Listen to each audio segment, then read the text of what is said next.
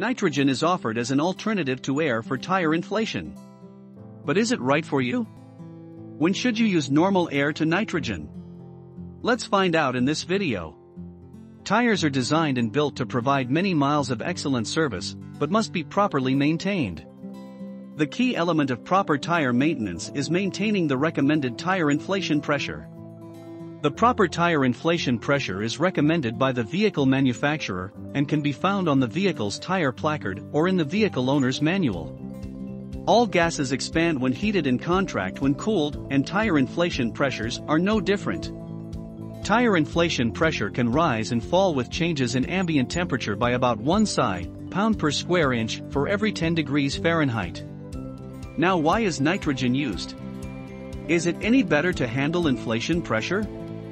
In its pure form, nitrogen has been used primarily because it doesn't support moisture or combustion. Nitrogen is an inert, non-flammable gas, basically, nothing more than dry air with oxygen removed. In fact, ambient air contains about 78% nitrogen, 21% oxygen, and 1% miscellaneous gas. Because of nitrogen's inert properties, it is often used in highly specialized tire service applications or demanding environments. These tire service applications usually include aircraft, mining, and commercial or heavy use. Also, nitrogen is used in professional auto racing where extreme vehicle speeds are involved. Dry nitrogen is used in this regard to help reduce tire pressure variations where even small differences in pressure can affect vehicle handling at the extreme limits of performance. But here is the answer you are looking for.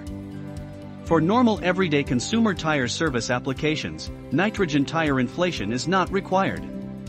However, nitrogen tire inflation does not harm tires, and may marginally contribute to reductions in tire inflation loss by permeation. Nevertheless, nitrogen will not prevent any tire inflation loss caused by punctures, tire, rim interface leaks, valve leaks V, will leaks, and other mechanical leaks.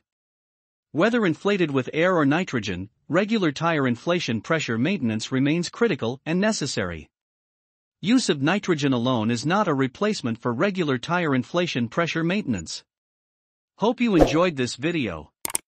Please like and subscribe to this channel to know more about such interesting facts.